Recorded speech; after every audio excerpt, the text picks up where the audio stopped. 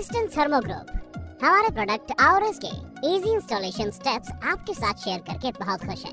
Power supply को check करें 220 या 230 वोल्ट्स में और 50 या 60 हर्ट्ज में।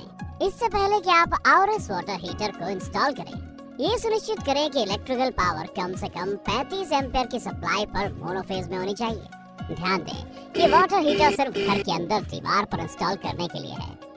हमेशा सुनिश्चित करें कि अंदर ठंडा पानी और बाहर गर्म पानी के पाइप नीचे की ओर हो। शुरुआत करते हुए कृपया बॉक्स को खोलने से पहले इन सामानों को तैयार रखें। आपको बॉक्स के अंदर एक मैनुअल और दो स्क्रू मिलेंगे।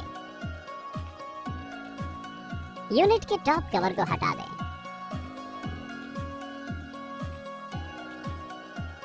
सुनिश्चित करें कि आप सही जगह पर होल ड्रिल करने के लिए यूनिट का उपयोग करते हैं।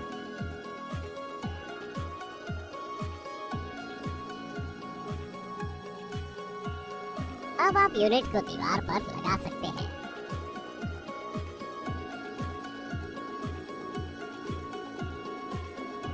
प्लग को सॉकेट में ना डालें। वायर को टर्मिनल से कनेक्ट करें।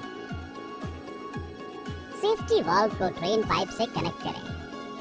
एडिशनल सेफ्टी वाल्व का इस्तेमाल ना करें। सुनिश्चित करें कि पानी के पाइप सही ढंग से जुड़े हुए हैं। आपका आउरस वाटर हीटर है। अब उपयोग करने के लिए तैयार है।